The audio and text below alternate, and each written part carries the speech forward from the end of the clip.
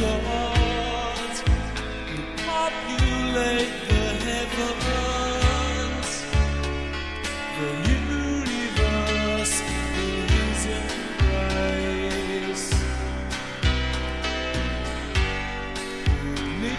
Struggle yield, but lay